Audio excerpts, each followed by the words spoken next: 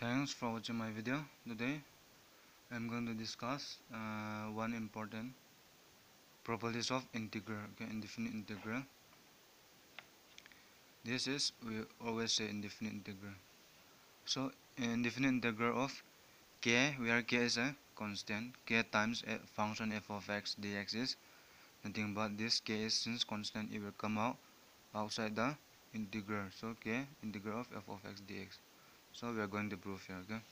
So we know that integration and differentiation are what inverse each other. So first of all I'm going to take for the differentiation. Differentiation of what? K or from property uh, what? From property 1 okay? We know that differentiation under integration again k f of x dx is nothing but this itself. So which is k f of x okay? We know this property again now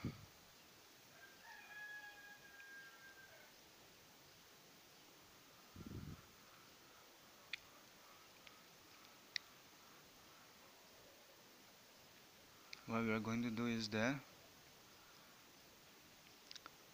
this constant k should come out in front of uh, this integral sign. Okay.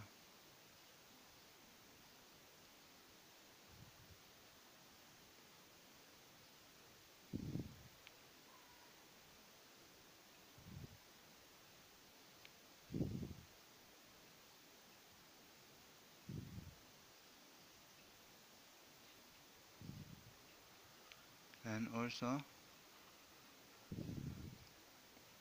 if the differentiate k okay times integral f of x dx. So this one you get since this k is constant so it will come out outside the different uh, differentiation. So d by dx of integral f of x dx which means k times this is nothing but f of x itself okay. And from these two if you compare okay if you compare these two since the right hands are equal so this left hand side cancelling this uh, differentiation so you, you get is nothing but k f of x dx is equal to k times integral of f of x dx.